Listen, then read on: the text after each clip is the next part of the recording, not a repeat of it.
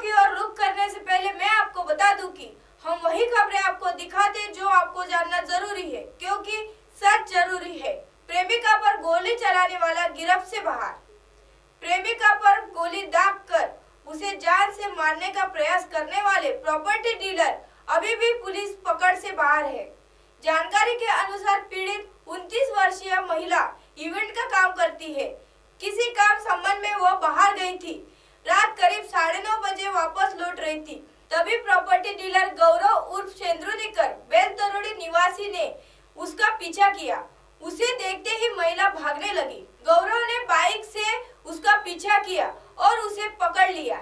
इसके बाद उसके साथ छेड़छाड़ की. किसी तरह उसके चंगुल से महिला भागी. इस दौरान गौरव ने पीछा करते हुए उस पर गोली दाग दी. लेकिन महिला इसमें बाल बाल बच गई. घटना के दूसरे दिन भी पुलिस ने आरोपी को नहीं पकड़े जाने की जानकारी दी है।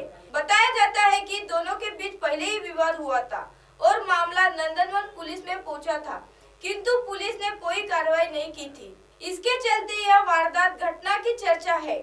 यदि पुलिस ने पहले ही इसे लेकर ठोस कदम उठाती तो यह घटना टल सकती थी। एमएनएस न्यूज़ लाइव की खबरें देखने के लिए आज ही प्ले